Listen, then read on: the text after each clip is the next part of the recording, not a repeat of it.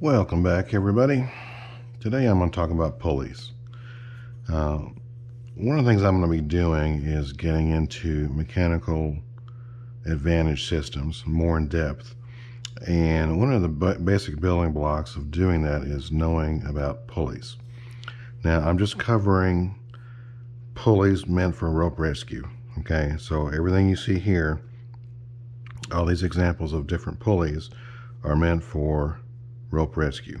Okay, there's a um, whole other world out there about snatch blocks and uh, pulley systems for off-road recovery and logging and all that kind of stuff.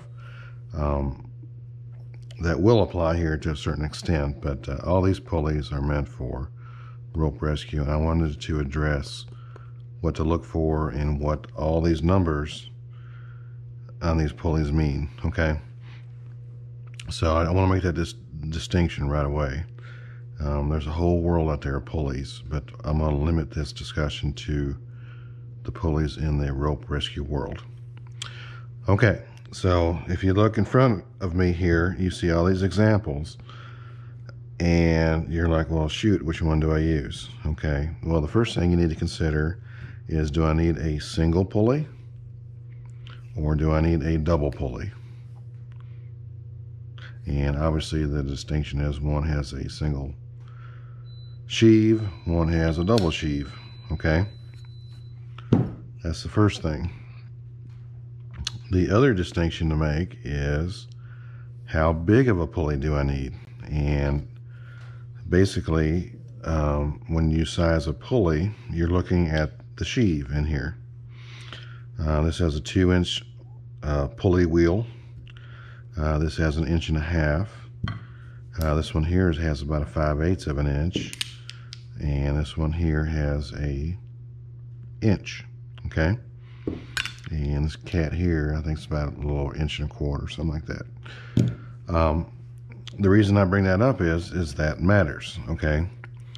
Because for efficiency, and each pulley here has a different efficiency rating. And efficiency rating means that if the rope is sized correctly to the pulley, um, it will operate within a range of efficiency. And most of these will be in, in the 90, 95% efficiency range, okay?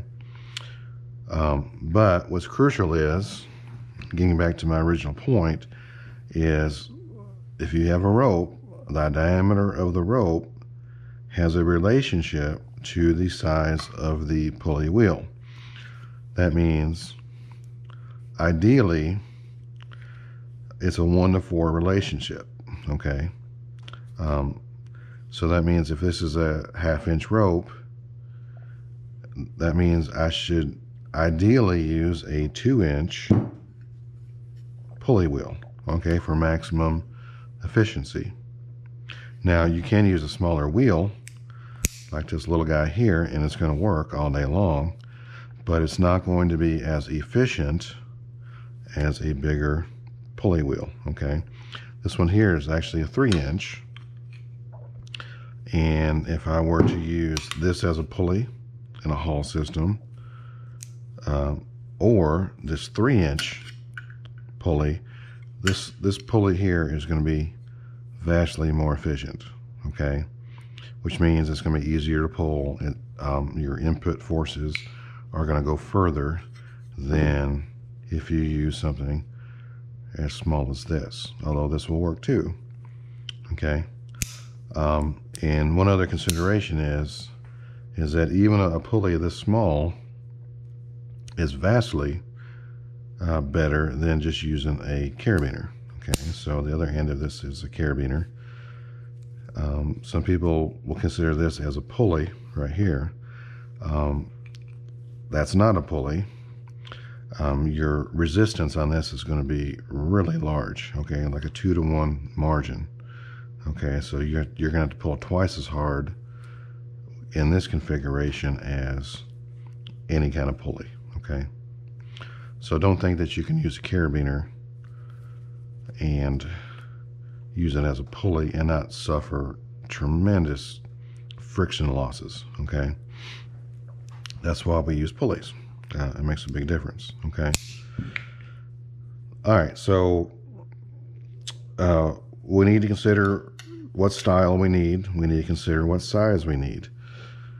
Okay, now let's go over some of the, the parts of this. It's uh, pulley is a very simple machine. Um, this one here, you have two side plates that swivel. Okay, you have an axle, and then of course you have the pulley wheel. Okay, or the the sheave. Uh, that's pretty much it on a pulley. Um, some of the more fancy ones have swivels, so the pulley can orient itself depending which angle is being pulled at, uh, such as these right here. Um, these are going to be more expensive. They also have open side plates. You can uh, load your rope by opening one side plate in, instead of uh, two, which means you can have a carabiner here and um, load it after the carabiner is loaded, which is really nice. Okay, so be mindful if you're using these for rope rescue that um, you choose the right style, you choose the right size um, for um, efficiency. And next thing I want to cover is is I want to go over some of these markings on these these side plates here. Okay. Oh, I, I know I was forgetting something. The third thing you want to be mindful of is uh, prusik minding. Okay, and all these are prusik minding. if you watch my other videos, I use prusiks a lot, which means when a prusik hits the side plates here, um, the prusik does not get sucked up into the sheave. Okay, so um, these are also prusik minding pulleys, and it says right here a 3 inch PMP, which is a prusik minding pulley single. Okay. All right, so those are the three things you need to consider. Uh, all right, so that's basically it in a nutshell, but I want to cover uh, one thing that confuses people, and now this one here, and I'm going to take a picture of this and show it in the video, but uh, right now I'm just going to draw a quick picture of this and what it has is, is this right here. And here's the pulley and it's got 38 KN and then it has 19 KN KN and 19 KN okay this confuses people um, obviously the, the 38 up here, that looks like a one, but it's not, it's an arrow. Um, the, the 38 up here is a number, obviously, and divided by 2 is going to be 19 on both sides. So what that means is, you know, if I load this pulley like this and I'm pulling, each of these legs of this rope are going to equally share the force, okay? And all this is saying is this pulley is rated for 38 kilonewtons. So a KN is a kilonewton, okay?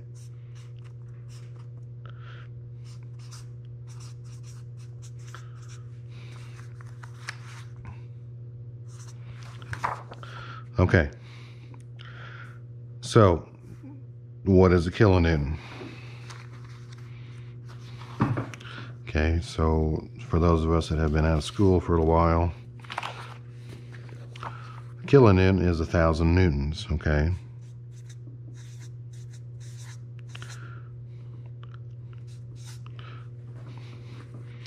Okay, a newton is a unit of force. Okay, this is what confuses people.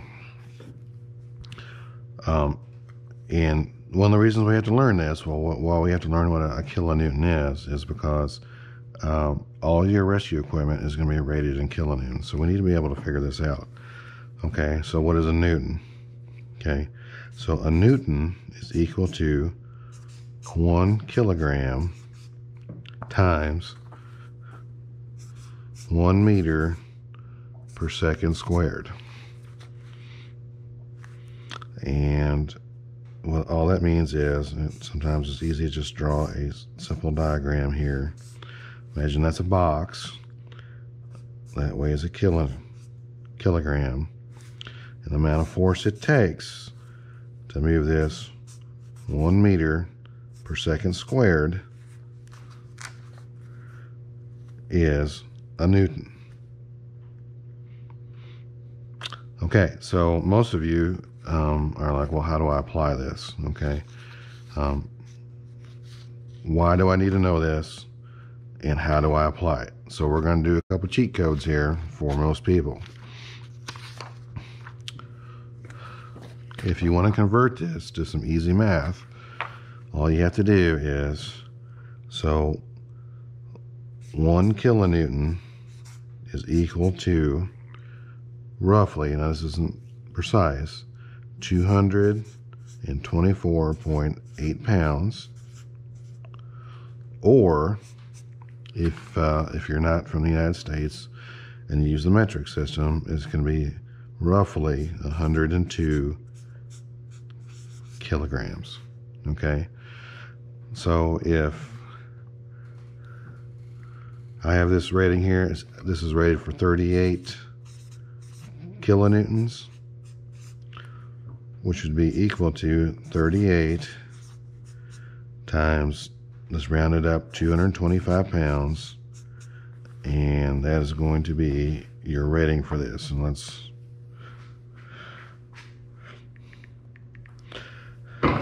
let's do some math real quick. So 38 times 225 so it's 8,500 pounds. So 8,550 pounds. Okay, so that's the amount of, that's how strong this is. This can, this can withstand over 8,000 pounds. Okay. Or 38 kilonewtons. Okay, so, so the, the rough, uh, uh, these are all rule of thumbs right here. So if you want to do quick conversions, you can either multiply times 225 or 102 to get your whatever unit of measurement you want, okay? But technically, it's a kilonewton, and you're going to have, this is what you're going to be going with, okay? Okay. Hopefully you stuck around for that. Um, it confuses a lot of people but uh, it's important to know all this stuff is rated in kilonewtons and you need to know how strong it is and what kind of forces you can apply. All right, uh, next step is going to be covering simple mechanical advantage systems. And but now you know the basics on pulleys. There's more to them, but uh, that's just a just a, a basic overview. See you in the next one.